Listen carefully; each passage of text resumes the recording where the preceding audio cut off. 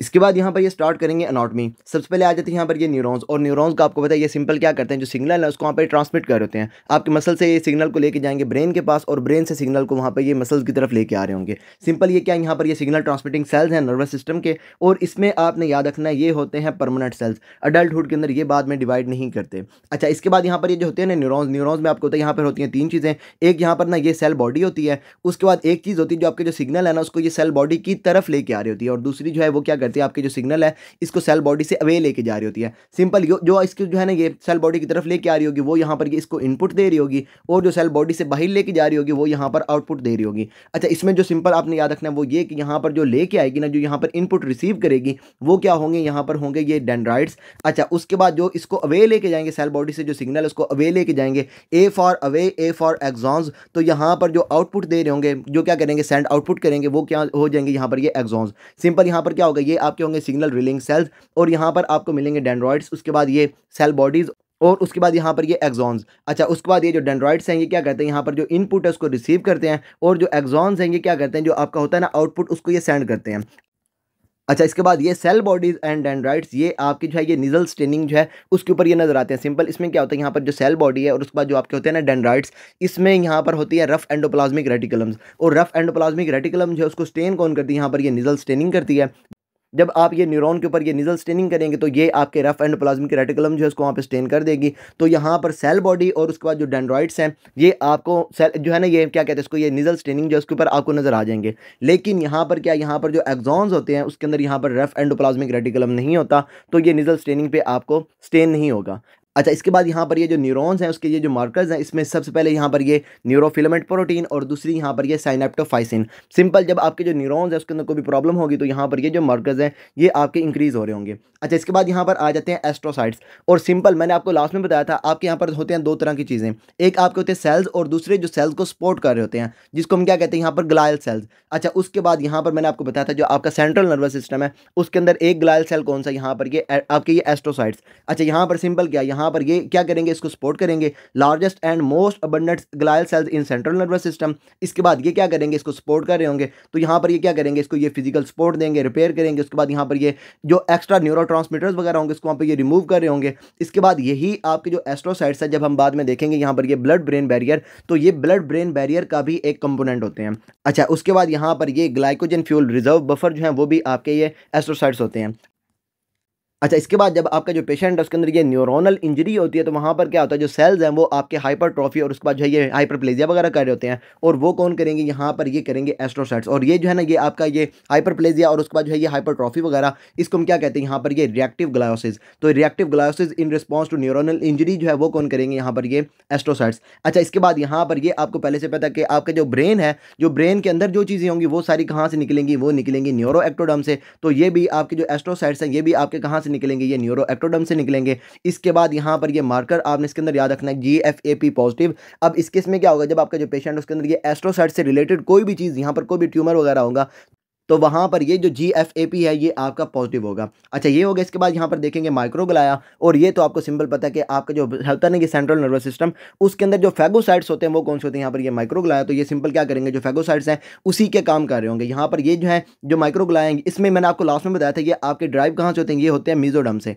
बाकी सारी जो चीज़ें हम देखेंगे, वहाँ पर जो है, ये सेंट्रल नर्वस सिस्टम की बात करेंगे तो वो आपके निकलेंगे न्यूरो एक्टोडम से। अगर आप बात करेंगे, यहाँ पर ये पेरिफेरल नर्वस सिस्टम की तो वहाँ पर जो चीज़ें होंगी, ये आपकी निकल रही होंगी। यहाँ पर ये न्यूरल क्रैश सेल से। अच्छा वहाँ पर हमने एक चीज़ देखी थी, जो आपकी यहाँ पर मिजोडम से निकल रही थी, और वो कौन सी थी? यहाँ पर ये माइक्रोग्लाया। और सिंपल आपने इसके अंदर ये याद रखना है कि मिजोडम जो है, वहाँ से आपके जो फेगोसाइड्स वगैरह हैं, जो माइक्रोग्लाया होंगे आपके ये सेंट्रल नर्वस सिस्टम के अंदर, वो आपके यहाँ पर ड्राइव हो रहे होंगे। अच्छा ये क्या करेंगे? यहाँ पर ये होंगे आपके ये phagocytics scavengers of central nervous system और ये क्या करेंगे, आपके जो फेगोसाइड्स हैं, उसी के काम कर रहे होंगे। जब आपका जो पेशेंट उसके अंदर होगा ये टिश्यू डैमेज तो वहाँ पर ये एक्टिव हो जाएँगे और ये क्या करेंगे, यहाँ पर जो इन्फ्लेमेटरी मीडिएटर्स वगैरह, उसको वहाँ पर रिलीज़ करेंगे। और यहाँ पर ये नाइट्रिक ऑक्साइड उसके बाद ये ग्लूटामेट वगैरह, जिसको वहाँ पर रिलीज़ कर रहे होंगे। अच्छा इसके बाद यहाँ पर ये जो है ना, आपके जो है ना, ये नज़र नहीं आते आपको ये निजल स्टेनिंग के ऊपर। Not readily discernible by Nissl stain अच्छा इसके बाद ये आपको पहले से पता चल गया, ये आपके मिजोडम से निकलेंगे।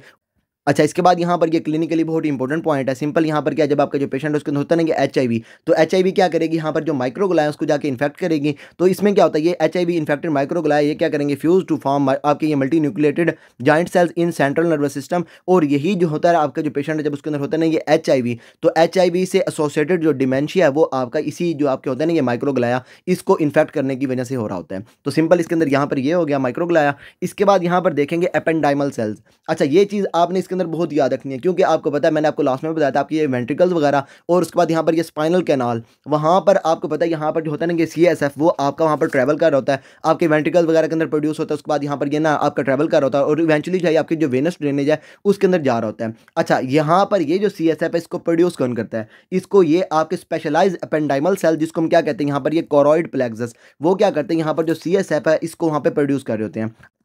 अच्छा यहाँ पर ये जो होते हैं ना अपेंडाइमल सेल्स ये हैं क्या? ये मैंने आपको लास्ट में बताया था, ये भी आपके होंगे ग्लायल सेल्स और ये आपके होते हैं सिलेटेड सिंपल कॉलमनर और ये क्या करते हैं लाइन करते हैं ventricle and central canal of spinal cord अच्छा इसके बाद यहाँ पर जो एपिकल सर्फेस है, उसके ऊपर होते हैं सीलिया और ये क्या करेंगे? सीलिया जब ये मूव करेंगे तो जो सी एस एफ़ है, इसको वहाँ पर ये सर्कुलेट कर रहे होंगे। और यहाँ पर होते हैं माइक्रोविलाय और माइक्रोविलाय का आपको पता है, जैसे आपके जी आई टी के अंदर माइक्रोविलाय होते हैं, वो क्या करते हैं? वहाँ पर एब्जॉर्प्शन करते हैं। सेम यहाँ पर भी क्या होगा? यहाँ पर एब्जॉर्प्शन होगी, लेकिन इस केस में क्या होगा? यहाँ पर पड़ा होगा सी एस एफ़ तो सी एस एफ़ की एब्जॉर्प्शन यहाँ पर ये माइक्रोविलाय वगैरह जो है, वो कर रहे होंगे। और यही आपके अपेंडाइमल सेल्स हैं, उसके अंदर ही आपके ये माइक्रोविलाय वगैरह आपको वहाँ पर मिलते हैं। अच्छा यहाँ पर आपने याद रखना सिंपल ये क्या होता है? आपके ये ciliated simple columnar glial cells होते हैं, और यहाँ पर ये क्या करते हैं, यहाँ पर आपकी जो वेंट्रिकल और आपकी जो स्पाइनल कैनाल है, उसको वहाँ पर ये, क्या कहते हैं, ये लाइन कर रहे होते हैं, और उसके बाद यही जो है ये मूवमेंट करवा रहे होते हैं सीएसएफ की, इसके ऊपर वहाँ पर ये आपकी सिलिया होते हैं, और उसके बाद यहाँ पर ही आपके ये विलाए होते हैं, और वो क्या करते हैं, जो सी एस एफ़ उसको वहाँ पर एब्जॉर्प्शन करवा रहे होते हैं। अच्छा न्यूरो एक्टोडम से निकलते हैं, यही आपको पता है, आपके जो सेंट्रल नर्वस सिस्टम के अंदर जो भी चीज़ें होंगी, वो न्यूरो एक्टोडम से निकलेंगी, और जो स्पेशलाइज सेल्स हैं आपके जो हो जाएँगे, यहाँ पर ये कॉरॉइड प्लेक्सस वो क्या करेंगे सीएसएफ की प्रोडक्शन कर रहे होंगे। अच्छा इसके बाद यहाँ पर ये दो तरह के और सेल्स हैं। यहाँ पर ये श्वान सेल्स उसके बाद ये ओलिगोडेंड्रोसाइट्स और ये चीज़ मैंने आपको पहले बताई थी, यहाँ पर ये कॉप सिंपल ये क्या करते हैं आपके जो होते हैं ना, ये सेंट्रल नर्वस सिस्टम उसके अंदर जो ओलिगोडेंड्रोसाइट्स हैं, वो माइलिनेट कर रहे होते हैं और जब आप बात करते हैं यहाँ पर ये पेरिफेरल नर्वस सिस्टम की तो वहाँ पर जो नर्व्स वगैरह होती हैं, उसको ये आपके जो श्वान सेल्स हैं, ये माइलिनेट कर रहे होते हैं। अच्छा माइलिनेशन में सिंपल क्या यहाँ पर जो माइलिन है, उसको वहाँ पर ये शीट आ जाती है सेल आपके न्यूरॉन्स के अराउंड और यहाँ पर ये आपको नज़र आ रही है दरमियान में आपका एक नर्व आपके वहाँ पर ये ना, एक नर्व है और नर्व के ऊपर ये जो आपकी चीज़ें नज़र आ रही हैं, ये क्या है? सिंपल आपके यहाँ पर ये माइलिन की शीत है। अब इसमें क्या होता है ये माइलिन की शीत की इंपॉर्टेंस क्या है? यहाँ पर क्या होता है ये आपके जो दरमियान में ये जो एरियाज़ बन जाते हैं, इसको हम कहते हैं यहाँ पर ये नोड्स ऑफ़ रेनवियर अब इसमें क्या होता है, जब आपका एक्शन पोटेंशियल चल रहा होता है ना तो यहाँ पर जो नोड्स ऑफ़ रेनवियर हैं, यहाँ पर जो सोडियम सोडियम होते हैं ना चैनल्स ये आपके हायर कंसनट्रेशन में होते हैं। और ये आपको पहले से पता है, जब आपके सोडियम चैनल्स ओपन होते हैं तो आपके यहाँ जो होते हैं ना कि सेल्स वगैरह, वो डिपोलराइज कर रहे होते हैं। यहाँ पर जो सोडियम चैनल्स हैं, ये आपके होंगे हायर कंसनट्रेशन के अंदर। अब क्या होगा, जैसे ये एक्शन पोटेंशियल आएगा, वो क्या करेगा, यहाँ से यूँ करके ना ये जंप कर रहा होगा। और इस जंपिंग को हम क्या कहते हैं? यहाँ पर ये साल्टेटरी कंडक्शन और इस जंपिंग की इंपॉर्टेंस क्या होती है? यहाँ पर आपको पूरी की पूरी नर्व को डिपोलराइज करने की ज़रूरत नहीं होती। आप सिंपल क्या करते हैं? यहाँ पर ये डिपोलराइज कर देते हैं और इससे क्या होता है? यहाँ पर ये जो कंडक्शन विलॉसिटी है, ये इंक्रीज हो जाती है। माइलिन क्या करेगी? यहाँ पर जो कंडक्शन विलॉसिटी है of signal transmitted down syndrome आपके ये डाउन एक्जॉन इसको क्या करती है? यहाँ पर इंक्रीज करती है और इसमें क्या होता है? यहाँ पर यह साल्टेटरी कंडक्शन होती है। Saltatory conduction of action potential at nodes of Ranvier where there are higher concentration of sodium channels और उसके बाद ये जो माइलिन है, ये क्या करती है? यहाँ पर ये रैप करती है एंड इंसुलेट्स एक्सॉन्स और ये क्या करती है? जो मेम्ब्रेन कैपेसिटेंस है, उसको वहाँ पे डिक्रीज़ करती है।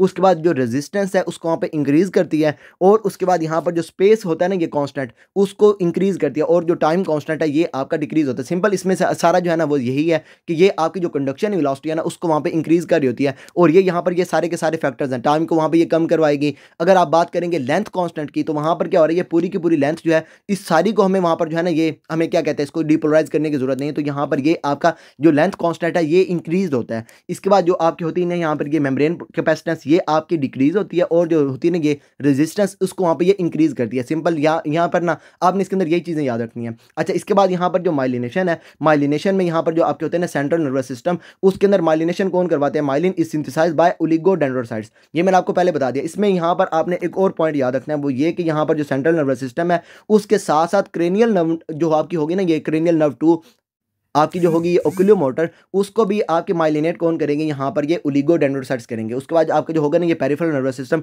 उसमें यहाँ पर आपकी बाकी सारी नर्व्स यहाँ पर ये आपकी थ्री से लेकर ट्वेल्व तक जो आपकी बाकी सारे नर्व्स हैं, उसको कौन करेंगे? यहाँ पर ये जो आपके होंगे ना ये श्वान सेल्स वो उसको वहाँ पर जो है ना ये माइलिनेट कर रहे होंगे। अच्छा इसके बाद यहाँ पर ये सेंट्रल नर्वस सिस्टम जो, उसको वहाँ पर ये उलिगो डेंड्रोसाइट्स जो है, ये आपको वहाँ पर माइलिनेट कर रहे होंगे। उसके बाद यहाँ पर ये पेरिफेरल नर्वस सिस्टम जो है, उसके अंदर ये श्वान सेल जो है, ये आपके माइलिनेट कर रहे होंगे। अच्छा इसके बाद यहाँ पर ये चीज़ आपको पहले से पता है। अब यहाँ पर अगर आप बात कर रहे है आपकी ये पेरिफेरल नर्वस सिस्टम की तो जो शुआन सेल देंगे, आपके कहाँ से निकलेंगे? ये आपके निकलेंगे न्यूरल क्रेस सेल से। और ये क्या करेंगे? यहाँ पर जो एक्जोनल रीजनरेशन है, उसको वहाँ पर ये प्रमोट कर रहे होते हैं। अच्छा उसके बाद यहाँ पर जो है ना, ये श्वान श्वान में ये वन, इससे आपने याद रखना है कि ये क्या करता है, सिर्फ़ और सिर्फ़ एक जो एग्जॉन है, उसको ये माइलिनेट कर रहे होते हैं। लेकिन जब हम बाद में देखेंगे, ये आपके ये ओलिगोडेंड्रोसाइड्स ये क्या करते हैं, ये आपके मल्टीपल जो होते हैं ना, ये क्या कहते हैं इसको, ये एग्जॉन्स वगैरह, उसको ये माइलिनेट कर रहे होते हैं। अच्छा इसके बाद ये जो आपके श्वान सेल्स हैं, ये आपके इंजर हो जाते हैं इन जीबी सिंड्रोम, और उसके बाद जब आपका जो पेशेंट है, उसके अंदर ये श्वान सेल का मार्कर आपने देखना तो आप इसके अंदर सिंपल क्या देखेंगे, यहाँ पर ये एस हंड्रेड।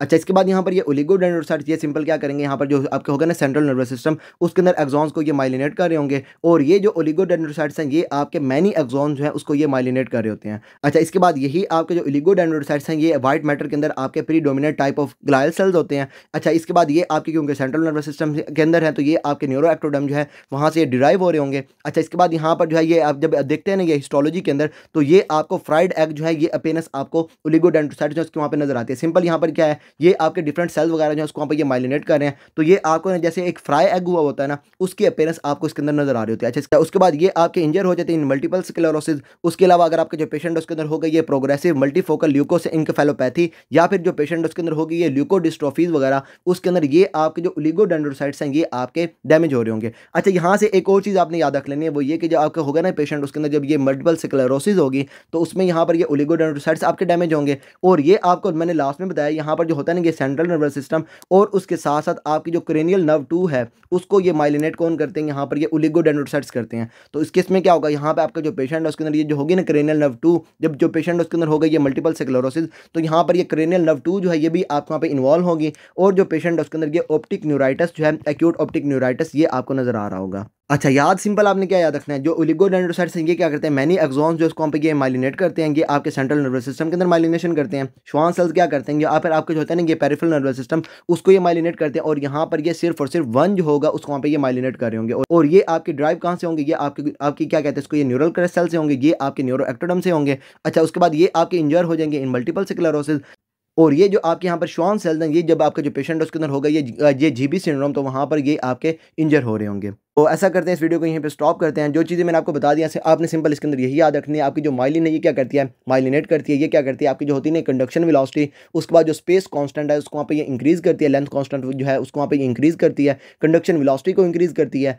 और उसके बाद ये जो आपकी माइलिन है, ये क्या करती है? आपका जो होता है ना, ये नॉर्ड्स ऑफ़ रेनवियर उसको वहाँ पे सिर्फ़ और सिर्फ़ डिपोलराइज कर रही होती है। यहाँ पर आपको ये साल्टेटरी कंडक्शन जो है, ये आपको नज़र आ रही होती है। और उसके बाद यहाँ पर आपने माइलिनेशन में याद रखना कि आपके जो होंगे ना, ये श्वान सेल्स ये आपकी क्रेनियल नर्व टू जो है, उसको छोड़ के बाकी जो आपकी नर्व्स होंगे ना थ्री उससे लेके आपके ट्वेल्व तक, उसको ये माइलिनेट कर रहे होंगे। लेकिन आपकी जो क्रेनियल नर्व टू है, उसको माइलिनेट कौन करेंगे? उसको आपके जो ओलिगोडेंड्रोसाइट्स होंगे, जो आपके वहाँ पे ये सेंट्रल नर्वस सिस्टम के अंदर हैं, वो उसको वहाँ पे माइलिनेट कर रहे होंगे। उसके बाद सेल्स में इसके बाद यहाँ पर ये सेल्स में ये आपके जो न्यूरॉन्स हैं, ये आपको वहाँ पे ट्रांसमिट करते हैं, ये आपके परमानेंट सेल्स होते हैं। इसके बाद आपने इसके अंदर याद रखना है, यहाँ पर ये डेंड्राइट उसके बाद ये सेल बॉडीज़ और ये एक्जॉन्स और उसके बाद आपने याद रखना कि एक्जॉन्स जो है, उसके अंदर वहाँ पर ये रेफ एंडोप्लाज्मिक रेडिकुलम नहीं होता तो ये निजल स्टेनिंग पे आपको जो है ना, ये आपको सीन नहीं होगा। अच्छा इसके बाद यहाँ पर ये मार्कज में आपके यहाँ पर ये न्यूरोफिलामेंट प्रोटीन उसके बाद ये साइनेप्टोफाइसिन आपके होंगे ये न्यूरोन्स के अंदर। अच्छा इसके बाद जब आप बात करेंगे एस्ट्रोसाइट्स की तो ये आपके होंगे most abundant glial cells in central nervous system ये आपके न्यूरो से आएँगे, इसका यहाँ पर ये marker G F A P positive होगा। इसके बाद यहाँ पर ये सपोर्ट करेंगे और ये काम इसके यहाँ पर ये हो गया और यहाँ पर ये आपकी जो रिएक्टिव ग्लायोसिस है, उसके अंदर जब आपका जो पेशेंट है, उसके अंदर होती है ना ये न्यूरल इंजरी तो रिएक्टिव ग्लायोसिस में आपके जो एस्ट्रोसाइट्स हैं, ये आपके इन्वॉल्व होते हैं। उसके बाद यहाँ पर ये आपका जो ब्लड ब्रेन बैरियर है, उसके अंदर भी एक कंपोनेंट आपके ये एस्ट्रोसाइट्स जो होंगे ना, इसके जो फ़ूड प्रोसेस होंगे, वो आपके इन्वॉल्व होते हैं। अच्छा माइक्रोग्लाया में सिंपल ये आपके जो हैं, ये आपके फेगोसिटिक्स कैवेंजर्स होंगे। सिंपल आपके जो सेंट्रल नर्वस सिस्टम है, उसके अंदर जो माइक्रोफेजेज होंगे, वो आपके होंगे माइक्रोग्लाया माइक्रोफेजेज वाले सारे काम यही कर रहे होंगे और यहाँ पर आपने याद रखना है। ये आपके कहाँ से आते हैं? ये आपके आते हैं मिजोरम से। और उसके बाद यहाँ पर जब आपका जो पेशेंट है उसके अंदर होता है ना ये एच वो माइक्रोगलाया को जाके इन्फेक्ट करेगा तो जो पेशेंट है उसके अंदर ये एचआईवी एसोसिएटेड जो डेमेंशिया है, ये आपको इसकी वजह से हो रहा होता है। अच्छा इसके बाद यहाँ पर अपेंडाइमल सेल्स ये सिंपल क्या है? यहाँ पर ये इसके अंदर होते हैं ना ये एपिकल सर्फेस वहाँ पर सीलिया उसके बाद ये माइक्रोफिला है सीलिया क्या करेंगे? मूवमेंट करवाएँगे सर्कुलेट करेंगे सीएसएफ को, और जो माइक्रोविलाए हैं, ये क्या करेंगे? ये आपके जो सीएसएफ है, उसकी एब्जॉर्प्शन कर रहे होंगे। अच्छा उसके बाद यहाँ पर जो स्पेशलाइज अपेंडाइमल सेल्स आपका कोरॉइड प्लेक्सस वो आपका कहाँ से आता है? ये आपका आता है अपेंडाइमल सेल से। सिंपल आपका जो कोरॉइड प्लेक्सस है, ये आपके जो अपेंडाइमल सेल्स हैं, वही आपके स्पेशलाइज होते हैं और वही क्या करते हैं, यहाँ पर जो सी एस एफ़ इसके वहाँ पर प्रोडक्शन कर रहे होते हैं। तो ऐसा करते हैं, इस वीडियो को यहीं पर स्टॉप करते हैं। फर्दर आपको इसके अंदर कोई भी प्रॉब्लम हो देने का नास्क एंड टिल अल्लाह हाफिज़ Give a damn about a hater when I feel like it. Not today, not today, not today, not tomorrow. Get out my way, please. I'm trying to get paid. Not today, not today, not today, not tomorrow. Get out my way, please. I'm trying to get paid. I've been broke for 27 years. I ain't going for 28.